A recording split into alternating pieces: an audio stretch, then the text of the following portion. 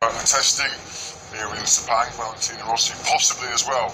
Uh, might just be uh, heading out just to do a, few practice starts. Aleix Espargaro uh, is uh, still out on track, uh, but again, I think he'll be coming straight back down the pit lane uh, and carry out yet another practice start. He was due, of course, to do a full race simulation on the Aprilia, as were so many of the riders in the field. But as we heard from Hector Barbera a little bit earlier on, and Jonas Folger, they were both saying that despite it being a very, very short range shower, it was heavy enough to soak 13 corners uh, of this uh, Sepang circuit. So let's keep a close eye on that Valentino Rossi then, uh, the 37-year-old uh, heading back out to the track. Is this just for uh, a routine uh, practice start run, or is he going out to check the conditions to see if he can get in any meaningful test? Return here at the end of October for that probably very important in Ultimate round of the World Championship. Yeah, and if that doesn't work, then you heard it straight from the horse's mouth. Loris Capirossi saying that there's certain track. Barger, they tried it with Jack Miller, not quite worked on, on both times. Perhaps we've got a man that really could start walking in the footsteps and is uh, plastered up. Uh, yeah, there's a, there's a, a lot more to this game than uh, people realise. And another thing that interested me was that Scott Redding piece was uh, any any slight change, if the glove's a little bit bulky or they, they feel a bit of plaster on their hands or anything, just upsets that concentration a little bit. Yeah, it does. It's uh, the physical fitness of a rider. You just can't underestimate uh, how fit these guys are. But you know, some of these guys haven't been out on circuit since November, so a bit of arm pump is not really a massive surprise when you think about the amount of laps that some of these guys have actually put in.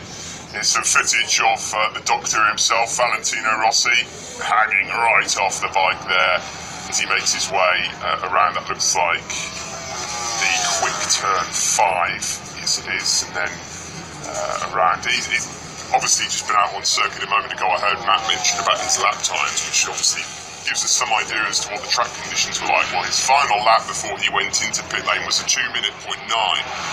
So what's that only one and a half seconds off the fastest time we've seen so far this week. It does suggest to me his chances, and often they have been ruined by injury, which is a very, very sad indeed. Uh, he's been there or thereabouts. He certainly led the World Championship on a number of occasions. Uh, you do feel that it's ironic. We were talking to Davide Brivio at the time, the uh, Suzuki team manager. Uh, he obviously jumped back on the bike and just continued because he didn't even come in. Makes it more difficult when you have problems because he can't be on track. From Phillip Island test, will we have two bikes? Yeah, we will uh, have start for the Aspar team uh, with uh, Bautista going so well, and of course uh, Karel Abraham back in the MotoGP paddock doing a good job. Here's Valentino Rossi. I think you uh, need any illustration about the heat and humidity and the effort put in. Just look at his face before he toweled it down. Big effort from the 37 year old. It really has paid off that 159 589 from Valentino Rossi with his teammate Maverick Vinales is leading the way. This has been a very good three days for the official factory Yamaha team. Uh, the changes they brought to the bike seem to be paying off. The two riders are gelling, and uh, I would think they will sleep tight tonight before they start planning their trip to Australia. Well, Paolo Ciabatti said yesterday, and it was a, a, good moment, it doesn't matter who's fastest in this test. What matters is who's fastest of the two.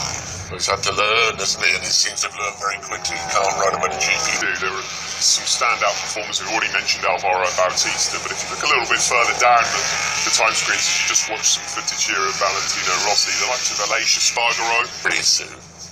Uh, not exactly the biggest surprise in the world there to see that uh, Andrea Iannone was towing uh, Hector Barbera down as they come downhill initially around turn three, then uphill to turn four, then it's that left hander uh, with uh, a quite an awkward camber change actually midway round, because we haven't seen the crash. But he's perfectly okay. Valentino Rossi exits pit lane. He's already posted a fast time of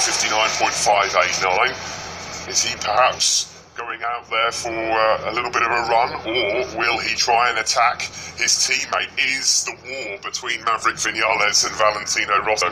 He's obviously on it. And just a moment ago, Valentino Rossi completed 61 laps. Uh, he's moved into the 159s, and I think he needs Mr. Wheelie uh, at some point during the first test of the year. I'm sure that's what this crew are all waiting for. Yeah. Joe claps his hands and shakes his fist. Valentino Rossi crosses the line.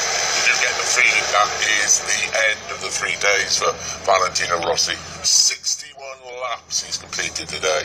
Fourth fastest. That should give you absolute delighted. The day as well, Lorenzo found himself up the timing sheets, but uh, that wasn't his most important job. It was to adjust that riding style. He's done exactly that, using the rear brake of the Ducati. Corner entries, what he found difficult, the difference for him, riding the Ducati and the Yamaha. Done a good job, hasn't he? Yeah, he really has. Valentino Rossi then back in the pits. So uh, it does look like uh, his uh, day has been concluded. If it has, well, the best he can hope for is fourth place. Like 159.589, as Nick said. Johann Zarco, he, he did improve uh, a couple of laps ago. He climbed up to eighth place, uh, 159.772 uh, for Zarco. There's uh, Rossi. He went out for a nine lap run there. His 12th exit of the day. Yeah, a few, uh, well, a couple of two zero zeros very early on. And that 219 on his last lap was because he spent the entirety of the start finish straight on the back, Back wheel. wheel. Uh, Alvaro Bautista still out there. Valentino Rossi has come in. Marc Marquez, we keep an eye on. Uh, we look at the clock, and there's 35 minutes to go. So Maverick Vinales may certainly get on the plane home to Spain uh, before having to fly out to Australia.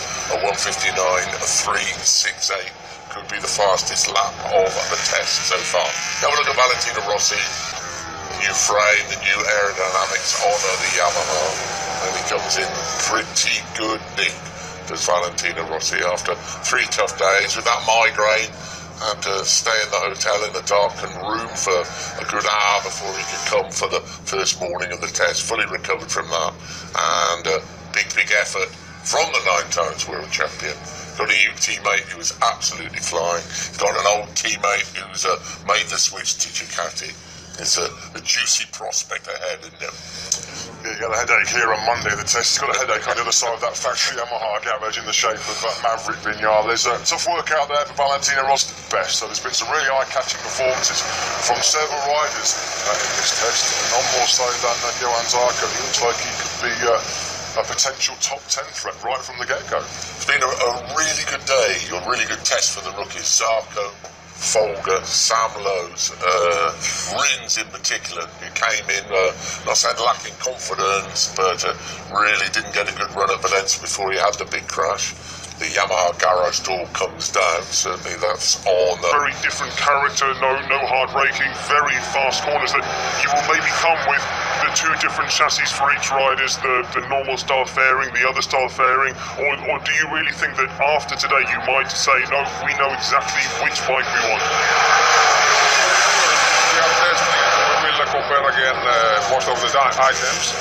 But uh, as you said, Filipina is uh, testing with Yamaha. He has led every single one of them.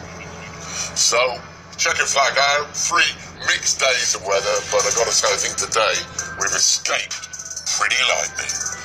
Well, Maverick Vinales um, unbeaten so far in winter testing. Top of the bar, 159.368. Ahead of Andrea Iannone. No improvement from the Italian today. Marquez third, Dovizioso fourth. Dani Pedrosa a late charge up into fifth. Valentino Rossi wasn't part of that late time attack.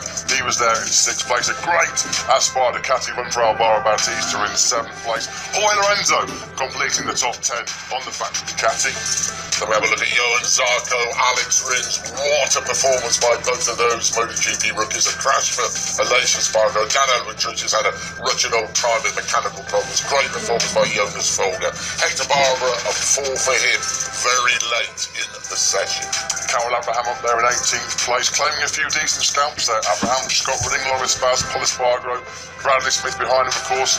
Pol Espargaro and Bradley Smith getting in crucial development miles on that new KTM RC16. Sam Lowes there in 23rd place.